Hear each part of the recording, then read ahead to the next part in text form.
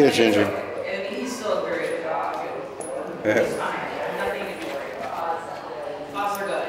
Hey, Sam, I'm out of the Have a great weekend. Okay. Oh my God. Oh, that's, we're gonna go there. She said she would be slow, she was going slow. Okay. No, that's my dog. It was- That's too much. That's, uh, I had a hot girl one day, and I said, I don't think you can, I mean, he was sick. It was dog like food, and I'm really good at it. How do you those two things? They were up closer. People started to bark, and growl. I said, no. And I walked away, and I started to come over here. And I just keep doing it until they know. Every time I say no and walk away, it's because they're starting to do something I don't want. See, but you can't set that up with more than one dog on the street. You know, you've got one feeds off the other, so there's a But you have have this before you go out on the street. This just starts, when you bring new dog home, I get rescues and they come in there terrorized, like she was. You should see the pictures of her. The first day, we put Ginger on my Facebook page. I mean, she was, I mean, she's got to love the interaction with people. There was nothing wrong with her except she needed to know that people, when she lived with her, eighty-five year old woman, friend or her with the newspaper. But I don't think it was like hitting her with a bat or anything. An eighty-five year old woman. This is what I imagine, you know, but because she doesn't look handicapped, she doesn't act like she, I don't, I don't see, but the, the rescuers invited to please try to get this lady to surrender. It's horrible. She keeps the dog in the crate. The dog lives in the crate. It's an Airedale. So she's gotten out of that.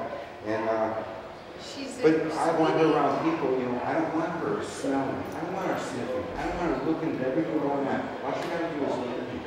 And when she looks at me, she can actually be calm. When we go for a walk, she's not sniffing all the time. You know, if she, she's relaxed, she can relax and just enjoy the ride. When you let her dog walk ahead of her, they're sniffing all the time. They're picking up too much information, there's too much to worry about. They're getting stimulated, they're, thinking too much stuff's going on in their head. Well, we can just make them, if I'm working the dog and they sniff the ground, every time they go to sniff, it's like, no, heel, every time, three times.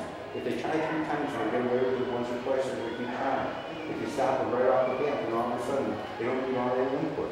Know, it's just, it makes them hectic and crazy. And then once you can do that, if you can't do that, you don't try to do that out here. The first day, I could bring her out here for a week or something, you know, she had to bond with me, and we played jumping games and fetch and playing and just getting her to like me.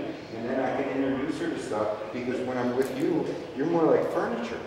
Yeah. Unless I let her in her head. Yeah. So all, you know, I, that's how it should be. Socialization is having your dog be able to just pay attention to you.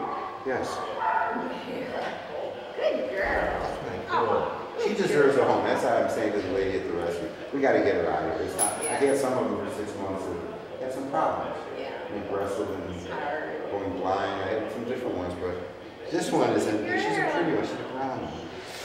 Ooh. She'd be ready. And I couldn't do this to her. Yeah. She was like, "Please, please, please, please." Good girl. She never tried to bite me growl, you know, but she'd get like Scared. scared. You didn't know what to do, did you? Can I pet her? Yes, please. Where's Okay, he? up to her, I wanted to stand up the, Yeah. Good girl. Oh, such a good Oh. I was thinking, Here.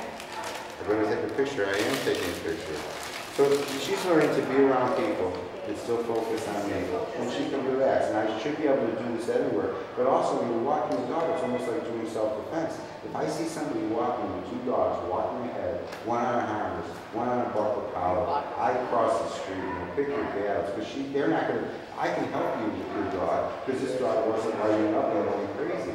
So your dog can relax around other dog, and you can praise them to relax and say, this is how I want you to behave, not like, go back.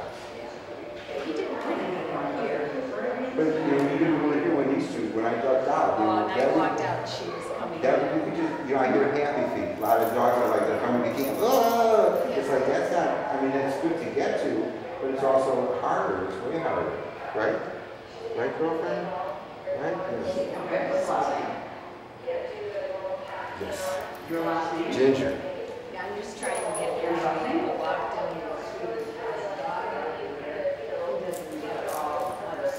But you're kind of observing and you're